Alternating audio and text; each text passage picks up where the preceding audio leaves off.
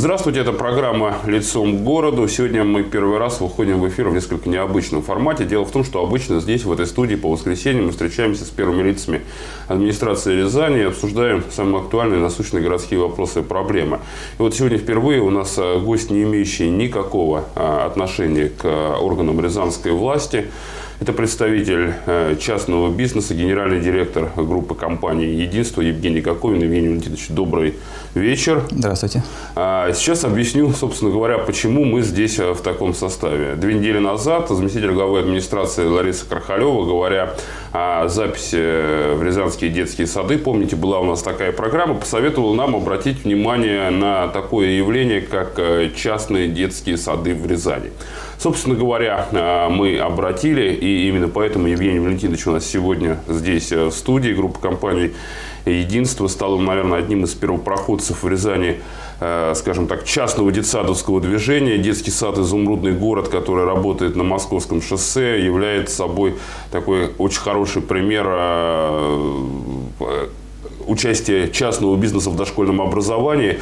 Собственно говоря, откуда появилась эта идея? Как э, строители решились на то, чтобы построить, содержать и эксплуатировать детский сад?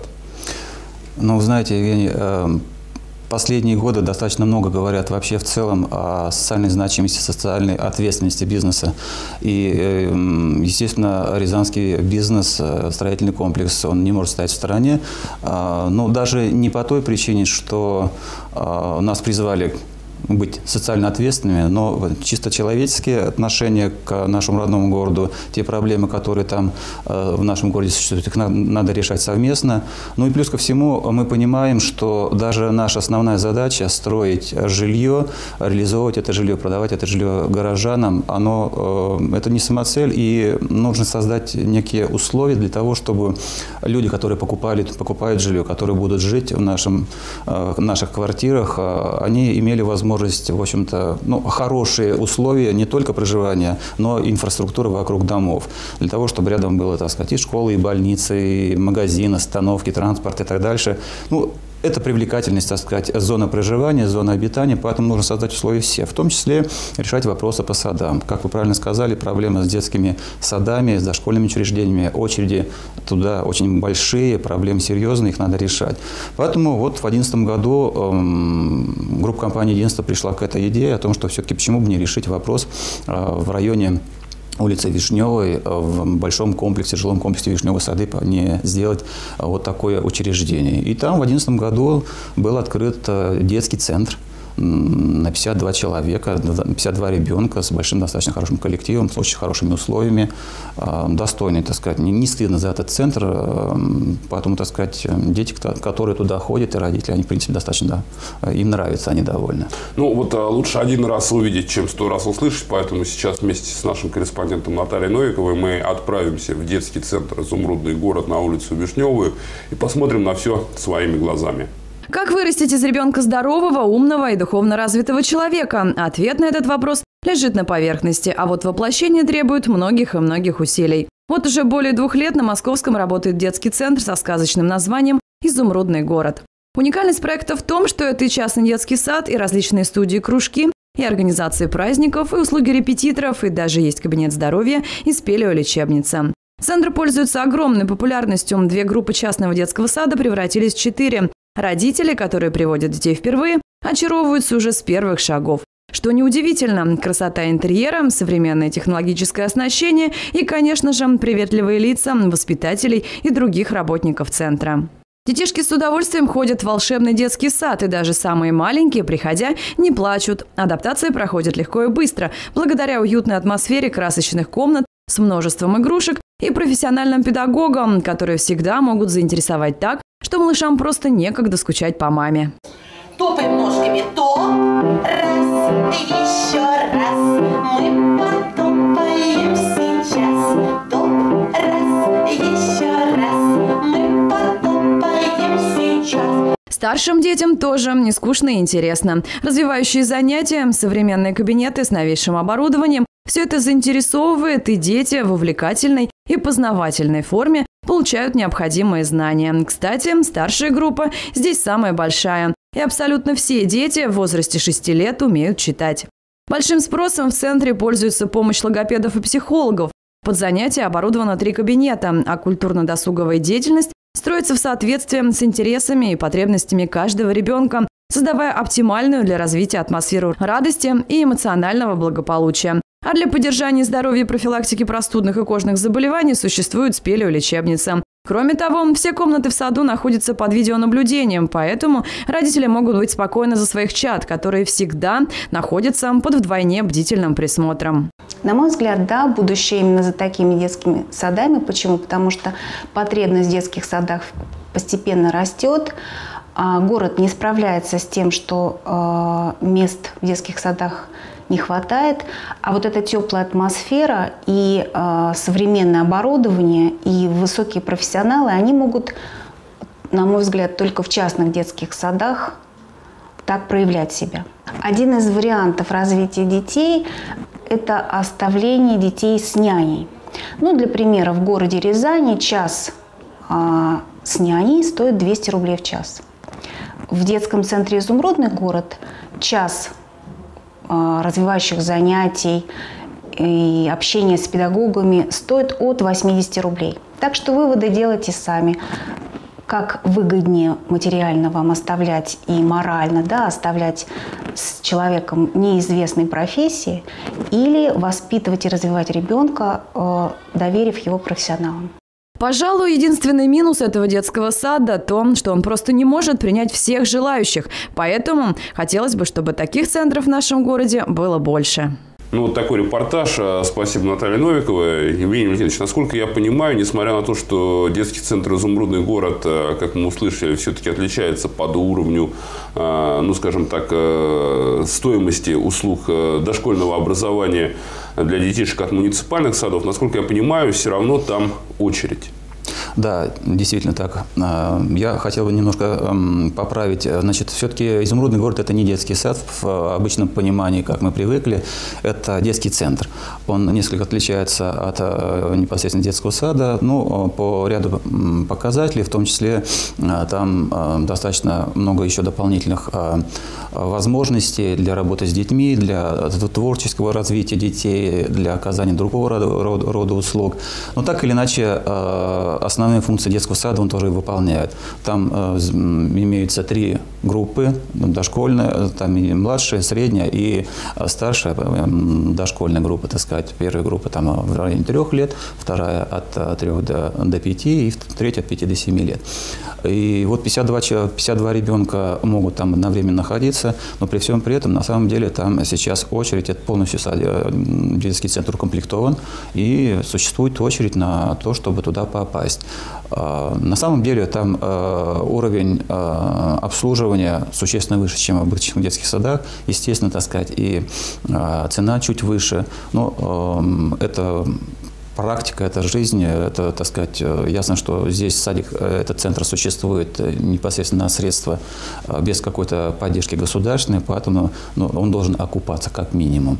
Но там на самом деле условия вы ну, мы все видели. видели, так сказать, там и охрана круглосуточная, и видеонаблюдение, и чистота, и порядок. Там, на самом деле, так сказать, чтобы зайти, нужно как в больницу обуться, одеть бахилы, э, и достаточно чисто, и дышится хорошо. Поэтому, да, это дороже, но люди идут, потому что им там хочется быть, там хорошо. Ну и опять же, так сказать, проблемы с детскими очередями. Но все-таки, насколько я понимаю, для вас это не совсем все-таки бизнес, а в большей степени такой как раз инфраструктурный проект, который, э, ну что называется, влияет на, э, скажем так, э, более э, позитивное восприятие, восприятие населения, более комфортное, более комфортное состояние тех квадратных метров, которые вы продаете в строящихся домах. Ну, вы абсолютно правы. Это на самом деле не бизнес, ну, во всяком случае, не основной вид или не самостоятельный бизнес для э, наших застройщиков, потому что, ну, я бы сказал так, что э, вот как есть у крупных городов, города-спутники, там, да, э, так и здесь это вот такой спутник-проект. То есть это как бы как необходимые условия для того, чтобы основной бизнес, строительство жилья, реализация этого жилья, продажа этих квартир, он шел, так сказать, более эффективно. И на самом деле э, люди э, могли иметь более комфортные, как вы говорите, условия для дальнейшего проживания. Когда под боком хороший сад, хороший магазин, это хорошо.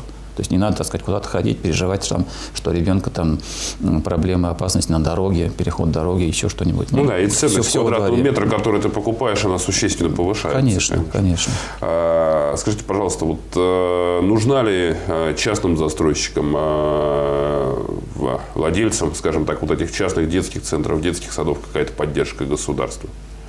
Знаете, я бы хотел сказать то, что, э, может быть, э, расширить, нужно ли вообще, нужно ли вообще э, бизнесу вот этими заниматься, да, и, собственно говоря, нужна ли поддержка. На, на примере группы компании «Единство» хочу сказать, что это, не, не, это первый, первый опыт у нас, но это не последний опыт. Да? У нас застройщики, которые занимаются освоением в районе Приокского а, поселка. У нас есть там такой жилой, жилой комплекс Приокский парк. А, соответственно, там тоже в ближайшее время, так сказать, будет а, построен детский сад небольшой, поменьше, чем здесь. Будет рассчитан примерно, так сказать, на 40 детей. Вот. Но это будет уже, так сказать, детский сад в том понимании, каком мы привыкли. То есть там будут браться все необходимые лицензии, разрешения, персонал. В изумрудном городе тоже все это, так сказать, есть и на достаточно высоком уровне. Но там будет вот именно детский сад, как мы привыкли видеть. Ну, то есть, э, строишь микрорайон, строишь, что называется, как бы жилые дома, строишь детский сад. Детский сад, э, магазины, э, пункты оказания первой медицинской помощи, что-то еще. Но то, что людям нужно постоянно. То, что в чем люди нуждаются, вот как сходить за хлебом в магазин, так и здесь. Потому что дети практически есть всегда постоянно, так сказать. Им надо чем-то заниматься, им надо во дворе играть. Поэтому детский сад нужен, нужна спортивная площадка, игровая площадка. Нужны нормальные условия. Это называется комплексное освоение территории, если мне память в, в определенной степени да. Это как раз вот тот вопрос, о котором э, в последнее время власть э, очень правильно э, заняла позицию, и такой тренд присутствует последние, так сказать, вот э, полтора-два года очень серьезно смотрит в сторону, власть, я имею в виду, смотрит в сторону, так сказать, жителей, и именно комплексного освоения территорий. То есть от точечной застройки резко, и это правильно, так сказать, власть ушла, и вот именно решаются вопросы по комплексному освоению, когда строится жилье, строятся объекты соцкультбыта, строятся строится инфраструктура, транспортные развязки, а, остановки и так дальше. Это правильно. Это как раз то, что нужно рязанцам, то, а, ради чего власть э, занимается, ради ну, горожан. Это все-таки не совсем вот э, то, что мы сейчас назвали мера, скажем так, государственной поддержки. Это скорее некие установки власти э, застройщикам. Да. А вот все-таки поддержка нужна? Ну, поддержка нужна всегда бизнесу. Потому что греха таит, так сказать, все об этом думают, мечтают и желают. А, и, безусловно, так сказать, то, что самому бизнесу решать какие-то социальные проекты, ну, достаточно э, непросто, потому что сам по себе бизнес, он достаточно затратный, требует серьезных вложений, и решать, так сказать, вопросы, связанные с социальной инфраструктурой, социальными объектами, ну, это очень достаточно тяжело финансово, напряженно. А потом взаимодействие с властью, безусловно, нужно. Вот на сегодняшний момент а, есть разные формы взаимодействия, и государственное, а не государственное партнерство. А, есть формы такого взаимодействия, как, так сказать, заключение договоров концессии для того, чтобы решать какие-то вопросы. Вот буквально, кстати сказать, мы в ближайшее время будем участвовать в тендере, который городские власти объявляют, согласно которому выделяется участок под реконструкцию, и на условиях концессии застройщик, так сказать, должен реконструировать здание под организацию детского сада, это вот в районе улицы Чкалова. Вот. И потом, так сказать, как бы этот детский сад должен эксплуатироваться ну, в пределах 49 лет. Там победителю конкурса отдается это в аренду на достаточно льготных условиях аренды земли и построенного, так сказать, здания. И вот там можно, так сказать, организовывать работу. А потом этот, э, это учреждение передается в собственность города. Может и раньше передаться по желанию, так сказать, сторон. Вот мы собираемся, единство собирается участвовать в этом конкурсе, надеемся победить. И, собственно говоря, вот мы планируем там сделать такой детский сад, очередной, так сказать, детский сад для того, чтобы э, и проблему э, вот эту напряженность с местами тоже поучаствовать в, в решении этой проблемы. То есть, насколько я понял, вы собираетесь сейчас строить еще один детский сад, рассчитывая на поддержку городских властей? Да, на взаимодействие со властью, мы, в взаимодействии с властью мы собираемся, так сказать, это сделать. И опять же, так сказать, это не комплексная застройка, скажем, да, это вроде как бы точечные такие вещи, но точечная застройка в районе Чкалова, так сказать, мы там будем строить, а другие объекты здесь строятся, уже сформировано, так сказать, определенный, так сказать, массив жилой, где недостаточно тех же мест детский сад. Поэтому здесь тоже вот даже вот такими а, на сегодняшний момент точными какими-то ударами можно решать проблему комплексности застройки и развития застроенных территорий. Ну что ж, спасибо за а, интересный разговор. Евгений Коковин, а, генеральный директор группы компании «Единство», был сегодня в программе а, «Лицом к городу». Мы говорили о перспективах появления в Рязани частных детских садов и перспективах решения проблемы очереди в детские сады. До встречи в эфире на следующей неделе.